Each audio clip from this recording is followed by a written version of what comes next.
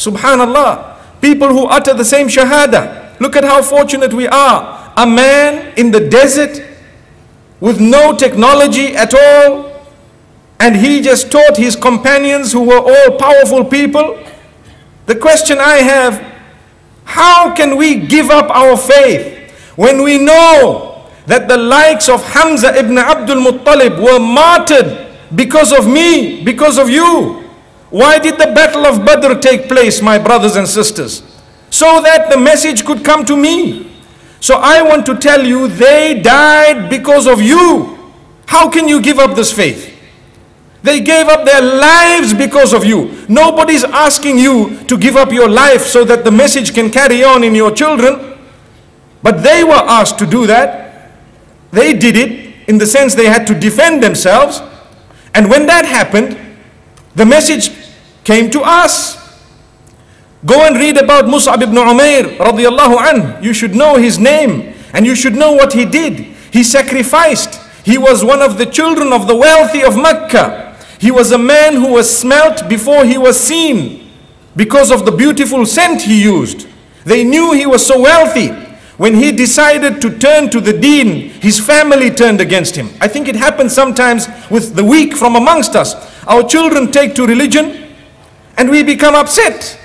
My daughter, you still need to show your legs for a few more years. Billah. Come on, come on. Why would that statement be uttered? My daughter, you know what? You've got beautiful hair. You still need to flick it all over the show before, you know, the time comes when you should change. There was a time when people used to think that you should only turn to religion when you clock 50 minimum because that's when you go for Hajj.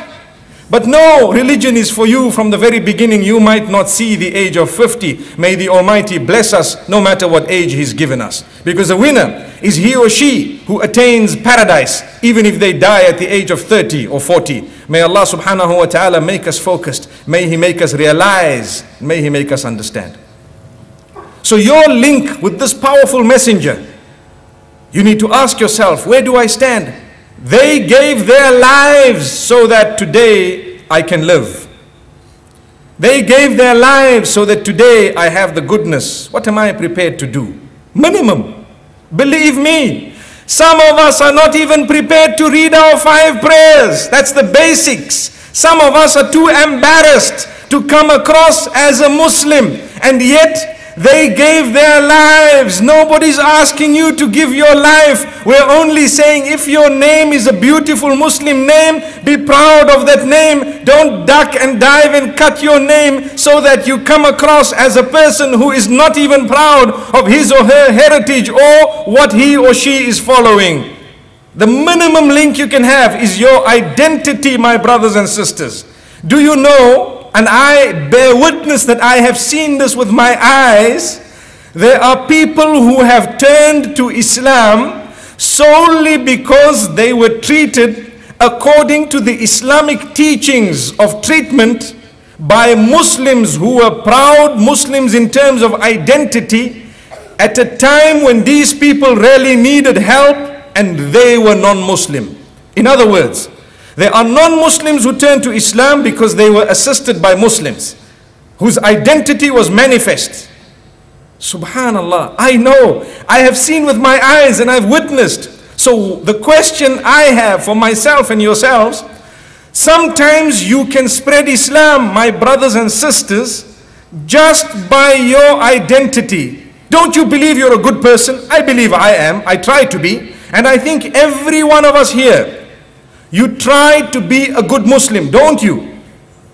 Well, if you try to be a good Muslim and those who are not Muslim or weak Muslims see you trying to be a good Muslim and they are benefited from it, they will automatically be attracted. But if your identity was not there, they would not even know that you were Muslim. Subhanallah.